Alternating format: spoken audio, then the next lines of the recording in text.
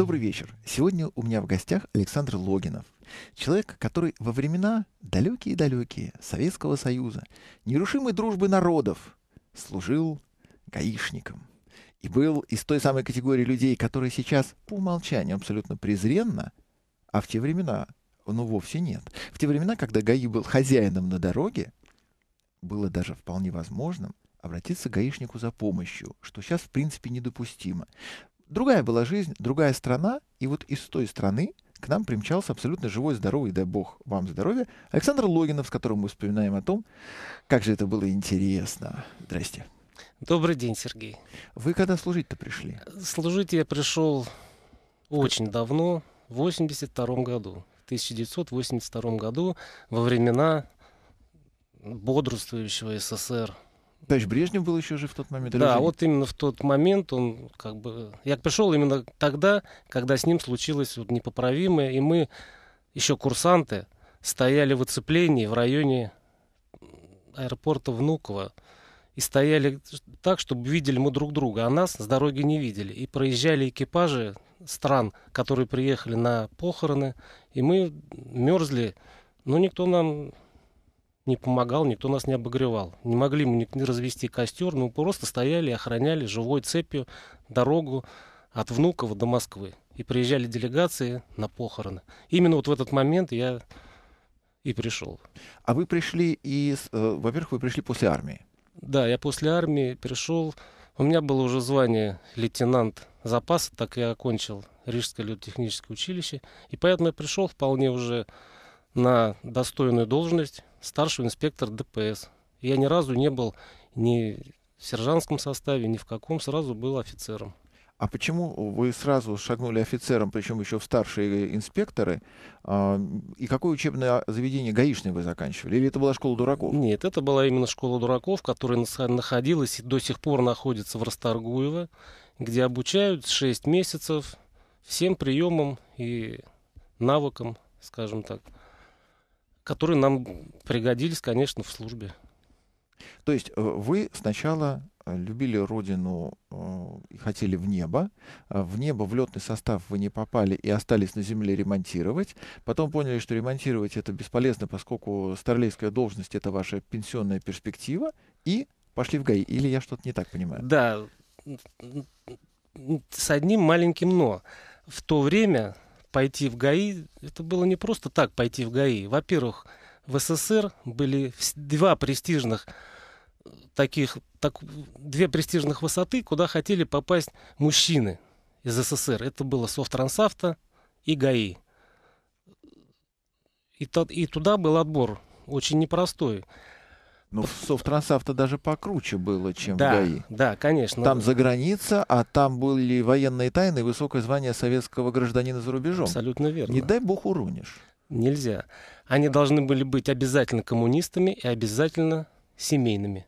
Да, семья оставалась в заложнике, всегда, иначе нельзя. Всегда, было только так. Но вы пошли, тем не менее, из э, Рижского летно-технического на землю, да еще тем более на подмосковную землю, через школу дураков в ГАИ. Да. А вот когда лейтенант уходит из армии, это же уже само по себе проблема.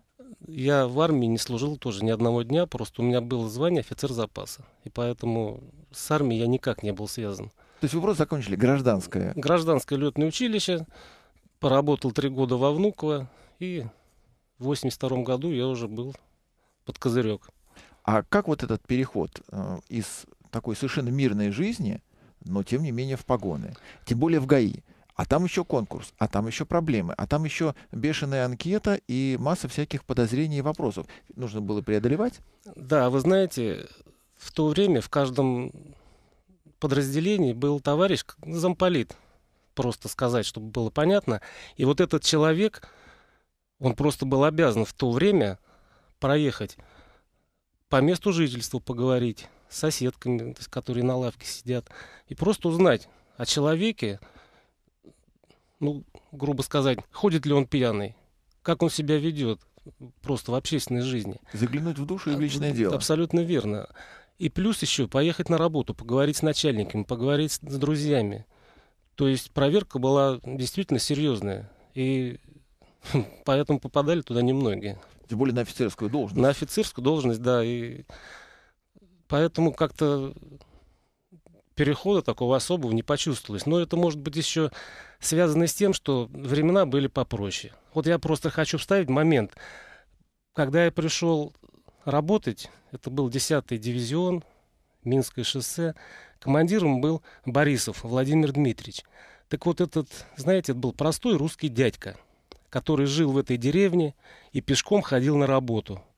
Он бы мог спокойно вызывать машину к себе, но нет, он шел буквально где-то из деревни Кобякова, километр до Минского шоссе, и там еще метров 600-700 до дивизиона.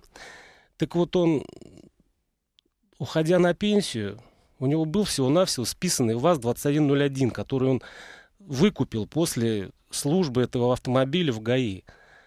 И старенький неприметный домик. Вот удел командира дивизиона, который был полковником милиции. Он ушел на пенсию. И поэтому больших таких, ну что ли, эмоций от перехода гражданской работы в милицию не, осуществ... не было заметно для меня. То есть вы пришли из одних довольно строгих жизненных условий в другие довольно строгие, потому что все-таки э, внуковский авиационный отряд это было тоже не институт благородных девиц. Ну, и, конечно, да, порядок был и там, и здесь. То есть и дисциплина, которая была привита вам в скрупулезном отношении к своему авиационному ремеслу, она вам пригодилась уже, когда вы стали гаишником. Ну, знаете, дисциплина, да, потому что в те времена, я могу сказать абсолютно правда и откровенно, что не было такого рвачества на дорогах. И отношения между инспектором и любая категория водителей, хоть таксисты, хоть там частные водители, военные, неважно, абсолютно, оставались на абсолютно другом уровне. А вот вы, когда получили погоны, а, стали офицером милиции, а вы почувствовали на себе какую-то вот социальную значимость, что вы были просто хорошим работником, а теперь вы еще за кого-то отвечаете. Был момент такой вот педагогической Э, наставнической затеи, когда замполит сказал, что э, помни, Саша, ты теперь за людей отвечаешь? Замполит, во-первых, все дело замполит сводилось к тому, чтобы позвать и сказать, Александр, ты пришел на такое место работы, где ты не только можешь думать о каких-то взятках и прочих, ты даже не можешь получить никакого подарка, ничего. То есть социалистическая законность, слова, которые висели на всех стенах и произносил каждый начальник и, и проверяющий социалистическая законность. Это было, это было все. Ну, 3 рубля инспектору ГАИ, например, э, который Смоктуновский э, Жонову в карм... из кармана достал в «Берегись автомобиля», они страну не изумили, потому что страна знала, что да, 3 рубля. Ну, я могу сказать о том, что вот работники, допустим, районных отделений, которые работали в районе, в районке так называемой, те практически даже и трояка не видели. Потому что районный, район есть район. Он сегодня поимел, завтра знает соседи, завтра знают какие-то знакомые. Да, это доходит обязательно до начальника подразделения. И здесь оставалось только одно. Переходить или в отрезвитель, ну или в патрульную службу. Поэтому там практически этого не наблюдалось. На больших дорогах, да, ситуация была немного, ну, скажем так, немножко другая. Потому что здесь в Москву стекалась вся продукция со всех южных регионов, из-за границы, отовсюду. То есть все шло по дорогам, и все шло через посты ГАИ, которых было в то время очень много. Их настроили как раз к Олимпиаде, и стояли они, вот, допустим, на Минском шоссе, я могу сказать, что... У нас вся страна была в блокпостах. Да, вся поста была именно к Олимпиаде для того, чтобы следили четко за передвижением иностранцев именно, именно по стране. И вот так на Минском шоссе посты были 27, 39, 45, 64, 72, 86, 96 и так далее, вот до самой Смоленской области. И на каждом посту стоял инспектор и четко регистрировал каждый проходящий иностранный автомобиль и количество лиц, сидящих в нем. Вот. Такой СМЕРШ. Да, сме... ну я немного отклонился от того, что хотел сказать далее.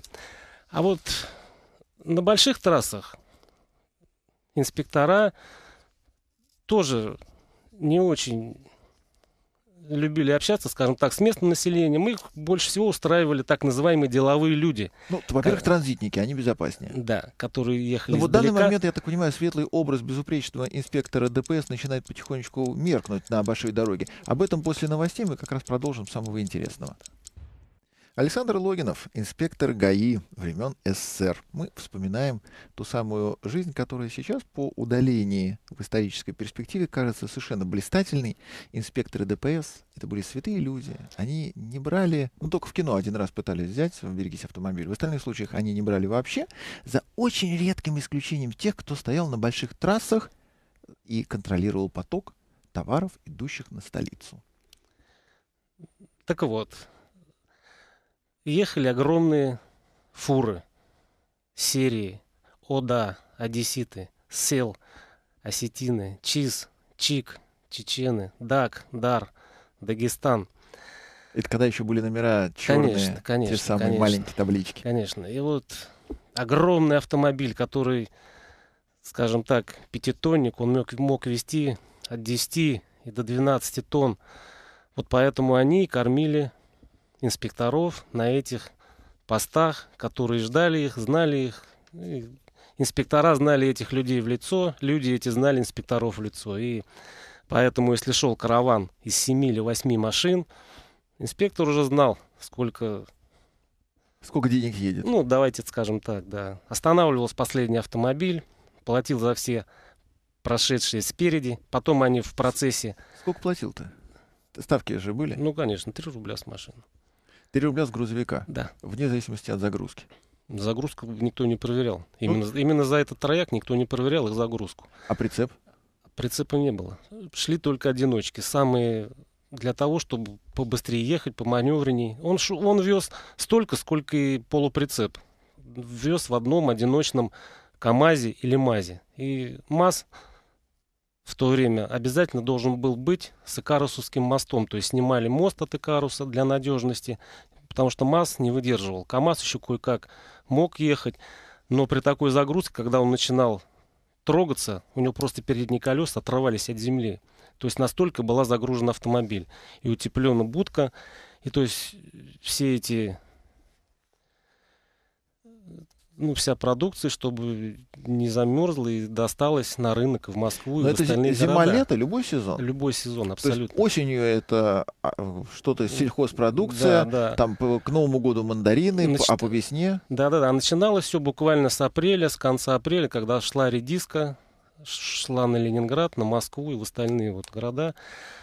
Вот, это молодой редис. Тогда только там выращивали, не было. Так китайцы здесь не выращивали у нас в теплицах. Все это тогда был настоящий продукт. Вот, поэтому везли во все города. Именно вот эти автомобили. И вся бухгалтерия у этих автомобилей находилась у него под сиденьем. Куча у путевок. последнего. Да. То есть головной шел, Нет, знал нет, дорогу или нет, у каждого? Нет, нет, у каждого. Потому что эти автомобили приходили в колхоз, совхоз, куда-то еще. И отдавался, сразу новым отдавался человеку определенному, который платил директору этого совхоза в месяц тоже определенную сумму. И, этого больше не касался этот директор автомобиля никогда. Просто получал в месяц деньги с этого авто, и они вот ездили так, как хотели. То есть это был уже в тот момент частный извоз. Уже в частный извоз, конечно. Это был часть, частник-дальнобойщик, Да, нелегализованный, да. и он выкупал урожай. У местного, ну, местного, да. Да, где- неважно. Как- неважно, так или абсолютно. иначе, приезжал на грядку, покупал там, оптом загружал и уже на свой страх Да. и риск вез Да. а, тому, кто примет у него товар в Москве. Потому что он же не был продавцом, он был именно... Именно да, заработал как на доставке. Да, конечно. И поэтому в те времена я слышал от многих водителей, которые перегоняли новые автомашины, говорят, что дежурили эти горячие ребята непосредственно у заводов КАМАЗа и МАЗа. И буквально в первом же кафе им предлагали, давали денег в районе от 5 до 10 тысяч тех денег. И говорили, что буквально через 5 минут подавай в угон, это уже в настоящий угон. То есть скажи правду, зашел попить кофе и выходишь, машины нет. Вот только дай нам 5 минут, и все. Такие случаи были. Очень ценились новые КАМАЗы, МАЗы. Именно только вот для этого. Таких машин было, поверьте, очень много.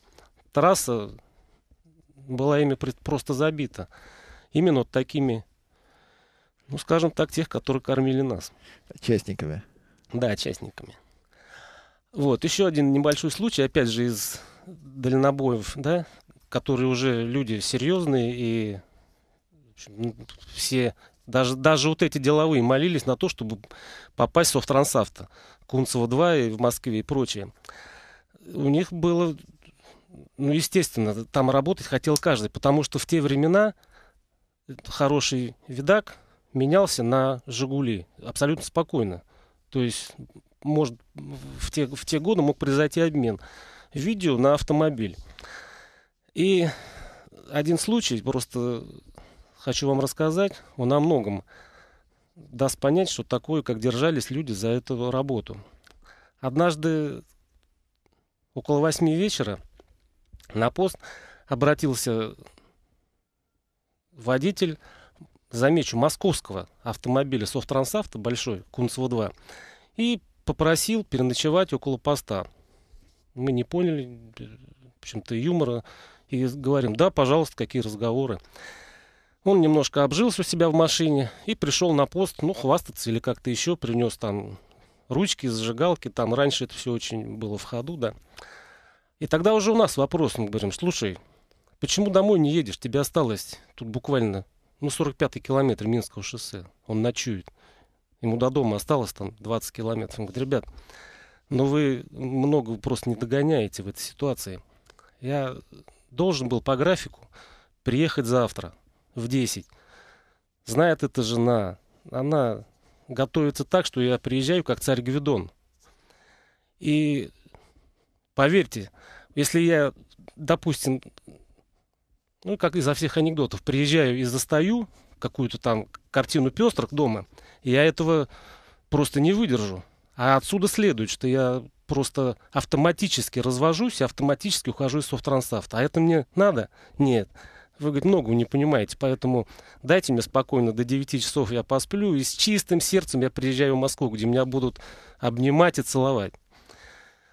И вот, ни, вот ника- никакие рога, брошенные на пороге, никакие, он не найдет. Никакие, абсолютно. Вот, вот это о многом скажет, как туда хотели и как и держались. Тем более, держались. вы за границу по тем временам. Ну, он был у очень ограниченного круга людей. Обязательно у каждого уважающего себя водителя Сострансавто был автомобиль «Волга». Только «Волга» и с, с дисками, которые блестели. Неважно, были они легкосплавные или просто колпаки, но должна быть была обязательно «Волга» с колпаками издалека, чтобы они светились. Вот, это был, в общем-то, если не было «Волги», это был неудачник. Ни, ни, ни шестерка, ни семерка не ценились. Иномарок не было. Да, иномарок не было. А на крыше стояла еще очень красивая антенна у «Волги», купленная в «Березке» за 12 чеков, либо ее аналог, привезенный из-за границы. Она была с легким стеклопластиковым напылением и светилась как то, что сейчас мы иногда принимаем за светодиоды.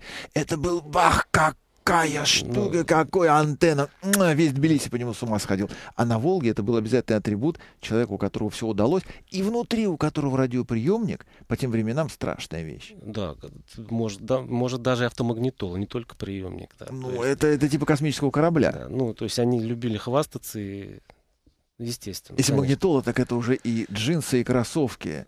Это был человек просто совсем небожитель. Да, да. А инспектор ДПС к этому всему относился. Мимо него проносилась целая жизнь, э, импорт за граница и, и 3 рубля. У инспектора ДПС были всегда друзья, даже не только Софтрансавто. Вот у меня был свой друг, его звали Джованни. Он приезжал все время из Венеции. Я даже мог в выходной приехать и его просто с ним поздороваться, встретиться. И он привозил маленькие сувениры, которые по тем временам здесь казались, конечно, просто немыслимым а достижением. Да, поэтому... Например, что? Вот это немыслимое достижение. Ну, что? например, впервые, когда еще только увидели по, теле- по телевизору вот Альбар, как там, Альбана Альбана, и Рамина Пауэр. Да, Рамина Пауэр, он мне привез и фирменную кассету, именно итальянскую, все, которая звучала и никогда не жевал. Она у меня до сих пор лежит, допустим, вот дома, как, как память вот о- об этом человеке. Вот. Он ездил всегда в шортах, независимо от мороза. И был очень такого худощавого телосложения. И когда уезжал из Москвы, его любимый жест всегда останавливался и говорил, Саша, в Москве девочки и водка. Вот был его жест. И он спокойно ехал к себе в Венецию. И ровно через 26 дней он должен был быть опять на этом месте. И вот это была его машина, потом его сын он тоже стал ездить. Но вот именно был рейс 26 дней, туда-обратно. То есть Причем- можно было считать и приезжать его с ним, на- с ним чтобы увидеться. Но, Александр, если деловые, особенно те, которые за Кавказье, были кормильцами на трассе, то Софтрансавто в этой связи э, только зажигалки и кассеты Да, те ребята были... без денег. В они не то-. Нет, они были с деньгами, но Прервемся были... на новости, потом продолжим. Да, да, хорошо.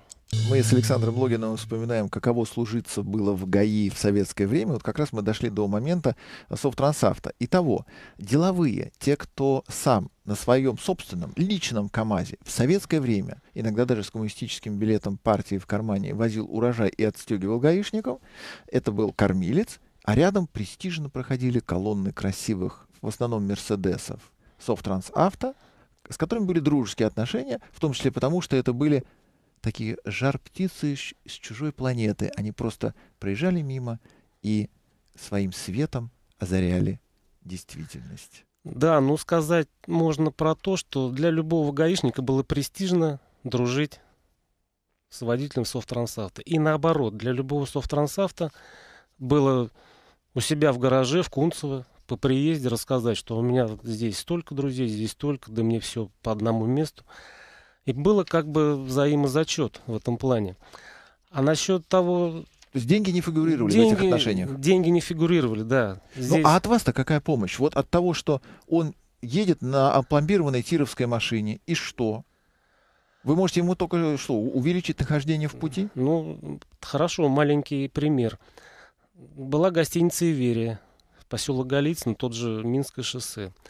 То есть этот товарищ мог приехать с, под- с подругами, неважно с кем, да, приехать в эту в Иверию, ресторан, и потом, конечно, не так, чтобы он говорил, что я поеду пьяный обратно, ребята, вы меня не трогайте. Но он мог попросить кого-то э, моего сослуживца с поста ГАИ сказать, что сядь за руль, довези меня до дома, и я тебе Ну, это да. заплачу, да. То есть, а какой он-то получал просто его престиж с теми же самыми его дамами, как возрастал, что его какой-то гаишник даже отвез. А гаишник имел с этого денег, ну пусть там 50 долларов или, ну примерно так. Ну, 50 долларов по тем временам, несмотря на Это- то, что курс 60 копеек за доллар советская власть установила раз и навсегда. Это Ну, было это- много. это кто, у кого какие были друзья, может и много, может и нет. Вот. Плюс еще какой был, допустим, гаишником от них опять. Вот все знающие уже бывалые ребята набирали на свалках старую резину в Германии. Та, которая не нужна никому. Там протектор на одной стороне есть, на другой немного нет. Или, ну, бывало, не попадалось хорошее. И они вывешивали эту резину над фургоном на, на своих рогах, на этих, так уже делали специальные э, слеги. И вот они везли эту резину. То есть каждый инспектор, который увидел, что такая машина идет в транспорт, он мог остановить, попросить на свой автомобиль резину. У него было очень много сзади набросано между фурой там было место. И каждый выбирал вот, ну, себе за абсолютно практически бесплатно, практически, ну, за какие-то совсем маленькие деньги. Но он все равно набирал со свалки. Считалось, что это он делает великое дело.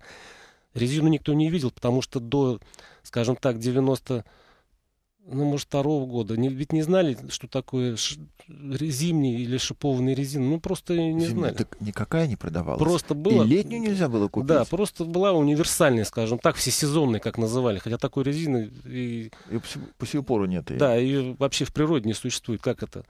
А вот они вот этим еще, скажем так, Сначала Помогали. М108, потом БЛ-85, которая шла за всесезонку. Но поскольку в СССР не было свободной продажи э, резины, аккумуляторов, аксессуаров, любое Да. привезенное оттуда, пусть даже поношенное, это было бесценно. Это было бесценно, да, ну что вы. Это была наклейка и прочее. Александр, вот тем не менее, красивая картина того, как мимо вас пролетала жизнь, но вы были человек в погонах, у вас были обязанности. Скажите, план по нарушениям тогда был? Да, конечно.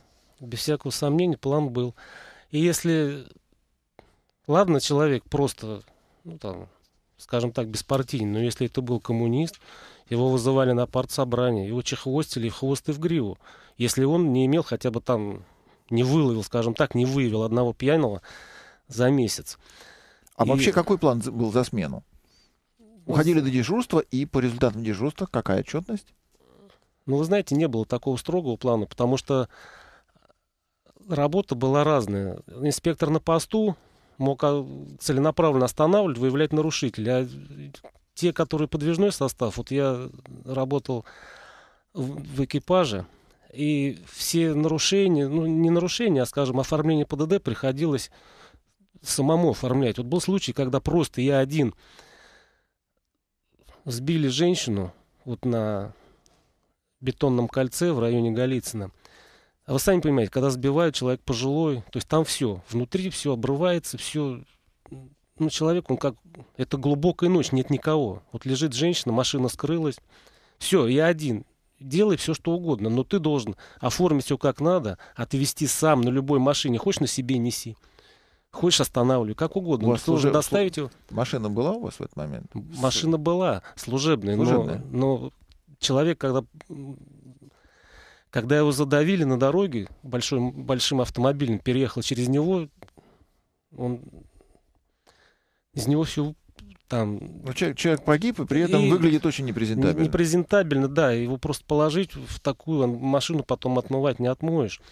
Не, сказано не потому, что какое-то э, там брезгливое отношение, а просто это на самом деле так.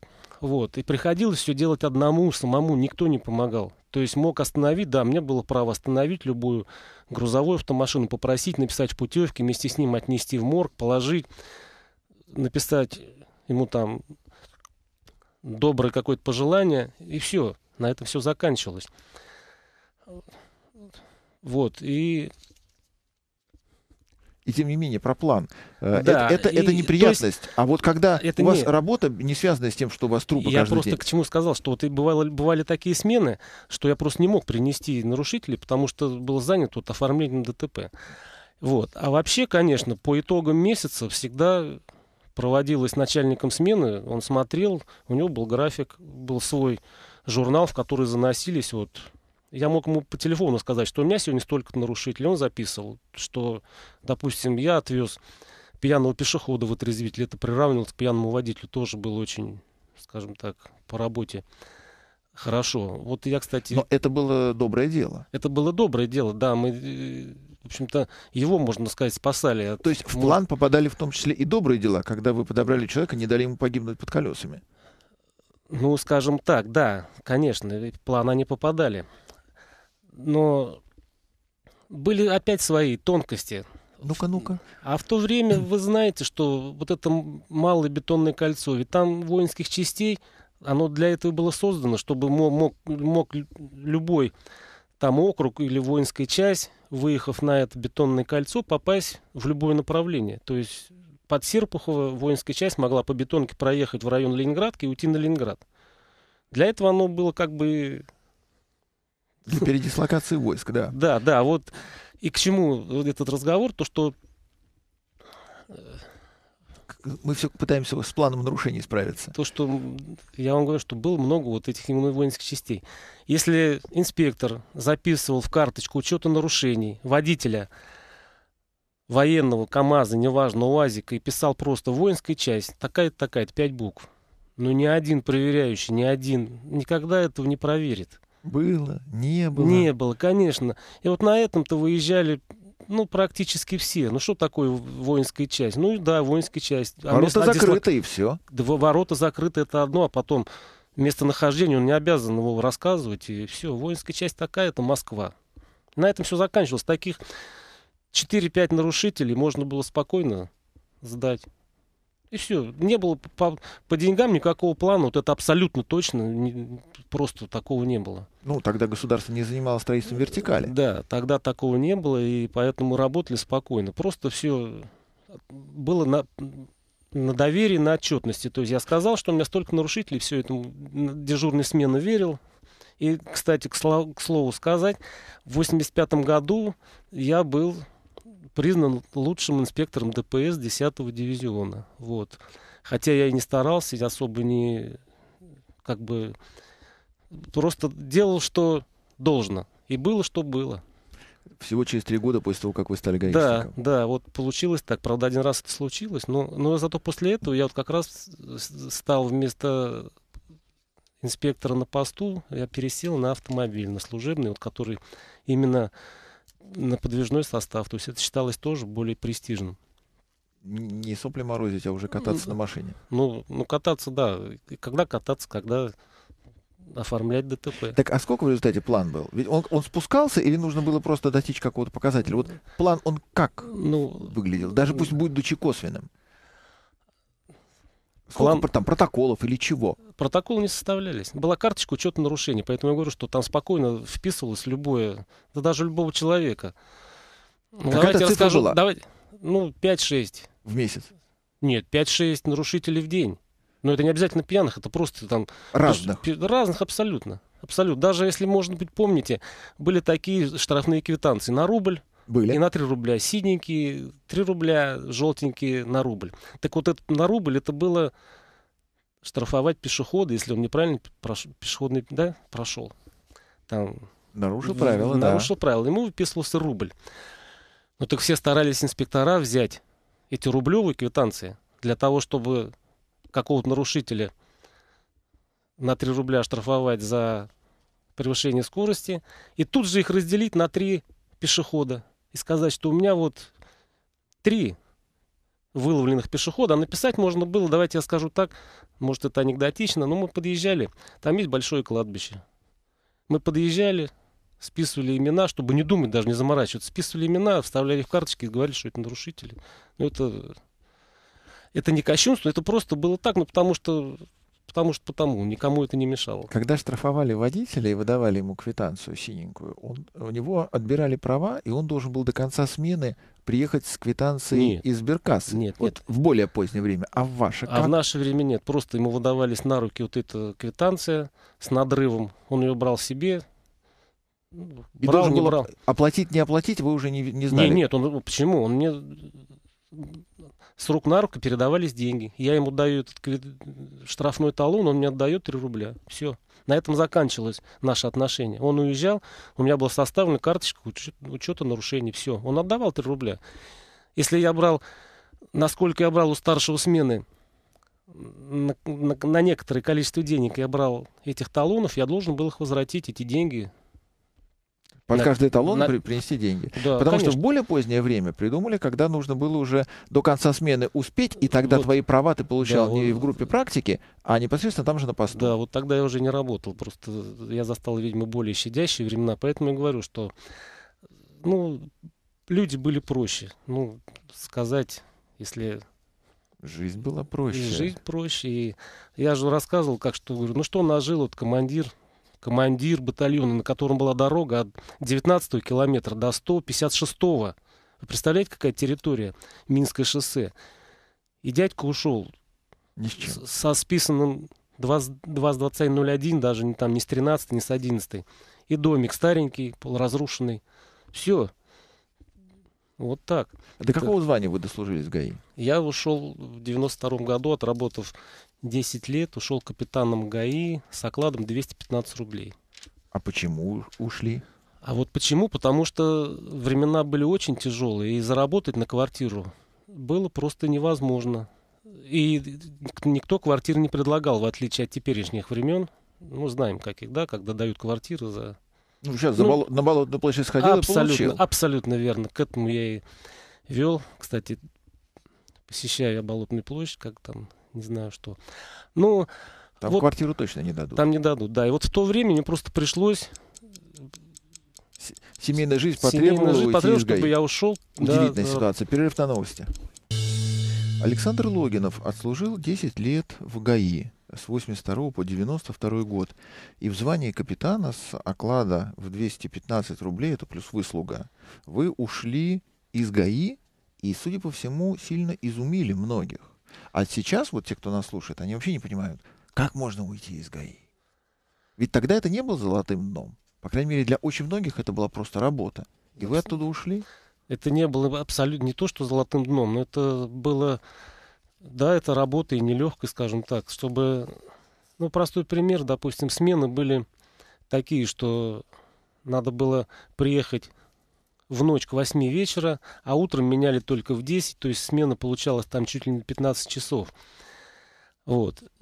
Ну, это один, одна сторона медали, а другая то, что ни о каком заработке на квартиру речи вообще не стояло и не могло быть.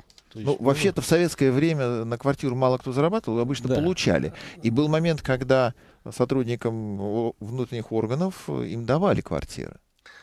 В том числе за выслугу. Особенно, когда человек уже становился майором. Знаете, нет.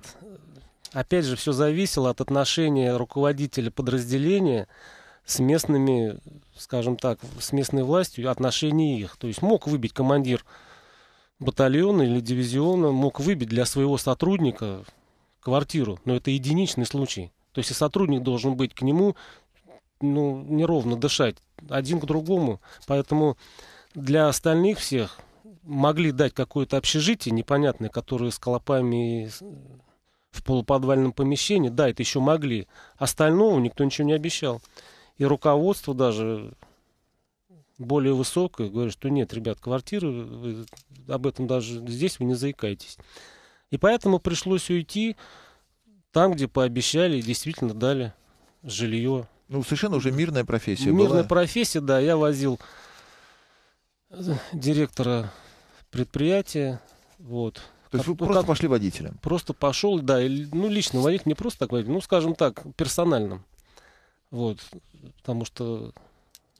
Но 92 э, год э, это развал Советского Союза и начало бандитских коммерческих отношений, строительства капитализма, он тоже не гарантировал квартиру. Пулю в лоб уже можно было, а квартиру еще вряд ли. Вы знаете, это было место, это был Нарафаминский шелковый комбинат. Кто если сейчас слышит из Нарафаминска, они прекрасно понимают, о чем я говорю. Там была куча общежитий, ну, довольно достаточно крепких домов, и квартиры более-менее нормальные. То есть, ну, это было какое-то жилье. Это было абсолютно... Ну, решение просто... проблемы, по-любому. Да, оно называлось общежитие, а на самом деле я жил, допустим, один большой квартире сталинского такого, даже еще царского постройки, переделанной из бывшего, там раньше, где жили фабричные люди, там один коридор был 15 метров, можно было кататься на велосипеде, 12 метров кухня, и все было просто... Ну, Жизнь началась. Жизнь. Скажите, Александр, а на каком этапе своей жизни вы получили водительское удостоверение? А вот водительское удостоверение я получил, свое первое я получил аж в 75 году, отучи, сам выучив наизусть правила, и поехал в Голицын и сдал на, на мотоцикл.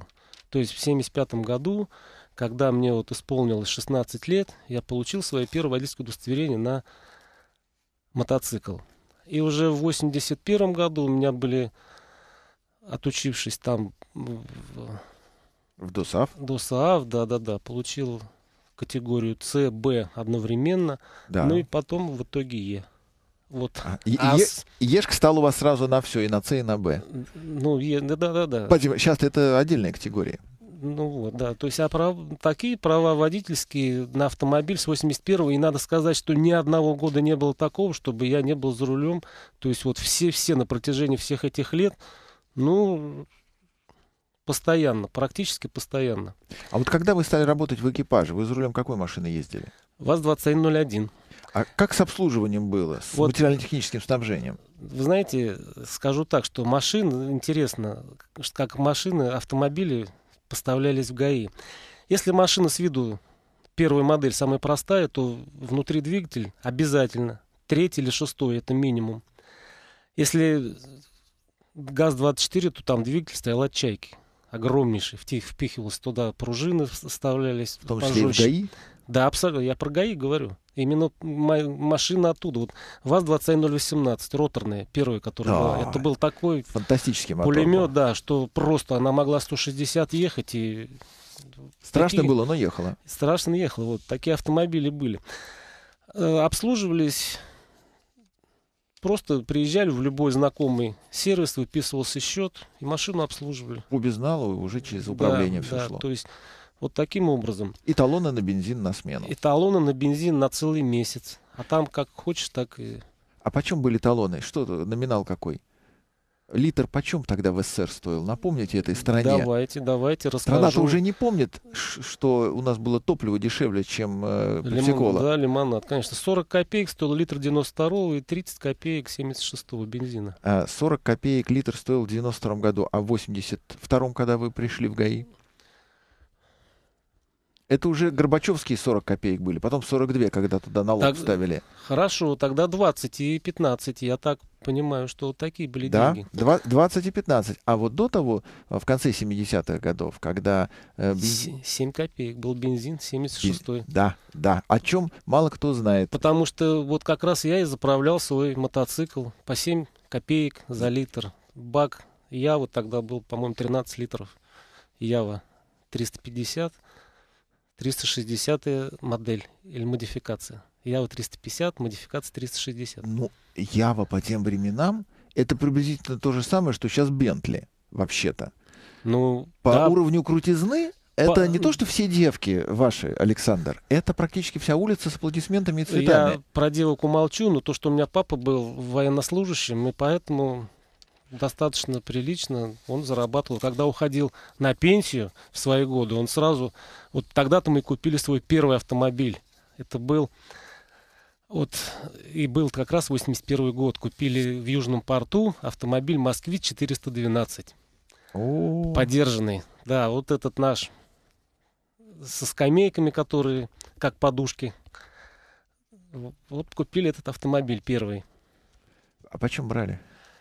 Южный порт это ведь такое своеобразное место было. Там на 7200 рублей. практически как за новый. Как за новый, да. Но вы забываете, что я вам могу сейчас напомнить историю, когда я тоже интересовался покупкой автомобиля уже в году. Вот э, сейчас, сейчас, сейчас. Это 85 год. Вот. Стоил автомобиль в Южном порту ВАЗ-2706 21 тысячу рублей. Абсолютно новый. Но учитывая, что свободной продажи тогда не было, Не было, конечно, конечно. и биржи тогда еще не было, и машину можно было только выстояв в очередь или путем интриг приобрести через долгие годы, то вот сейчас, да, 21, 23. 23, да. И плюс к тому еще, что очень по тем временам мы-то еще не раскусили, да, а вот Литва уже скупала у нас именно машины ВАЗ-2708, которые они называли утюгами. И никто не понимал, зачем покупать такую машину. Но те были ребята попродвинутые, и они, им, кстати, очень нравилось. И тогда же в Южном порту а, люди из наших восточных окраин пригоняли в великолепном состоянии 21-й «Волги», продававшиеся по цене, государственной цене 24-ки. Она стоила от 9 до 15 тысяч. Вот 15 тысяч рублей стоила на излете Советского Союза Волга. «Волга ГАЗ-24», Да, да. но сейчас здесь 21-ю можно было купить за эти 15 тысяч в таком состоянии, в котором она с конвейера даже не сходила. Да. Они умели тогда работать Мне- по жестянке фантастически. Другой вопрос, какие дырки через нее, из нее выползают через месяц. Не даст. Но тогда армяне работали так по железу и так красили, что иногда даже хотелось купить. Да, ну, не моглось, не моглось. И тогда же в комиссионке в Южном порту, вот на той самой площадке гравийной, где народ торговал, пригонял свои запорожцы, уазики, Да-да, грави- вожделенные. Точно, Там в точно. уголочке стояли машины УПДК. И там э, очень долго стоял темно-шоколадного цвета Бьюик по цене 40 тысяч рублей.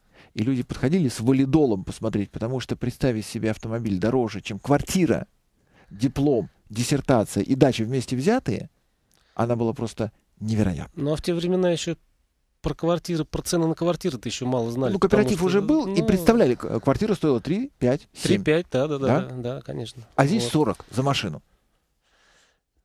Перебор абсолютный был. Абсолютно, да. И, ну, был еще престижный ВАЗ-2707, так как он ну, как бы люди, кто его покупали, считали, что он уже Конечно. заполняет де- декларацию, которую надо было больше 10 тысяч, уже должен был человек писать. И тот, который написал, считал, что он уже, конечно, обхитрил всех и купил себе автомобиль недосягаемый для других. Александр, когда вы были инспектором ГАИ, а, вам взятки предлагали?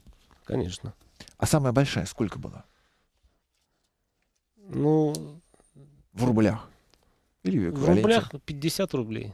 А что нужно было такого натворить, чтобы предложить Напиться инспектору? пьяным всего-навсего. Ну, 50 это даже много по тем временам.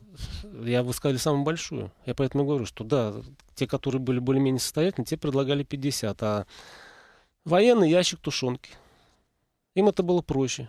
Он мог отзвониться своему знакомому прапору, все, тушенка у них шла, да, большущие железные банки. Я не знаю, какого года. Ну, вот так, да, так было. А трубочка Мохова-Шинкаренко была у каждого инспектора. Их было в наличии, конечно, у каждого инспектора. Поэтому И- в любой момент можно было проверить. В любой. Александр Логинов в свое время капитан ГАИ. Да, многого я не рассказал еще, так что В следующий раз. Спасибо. спасибо вам.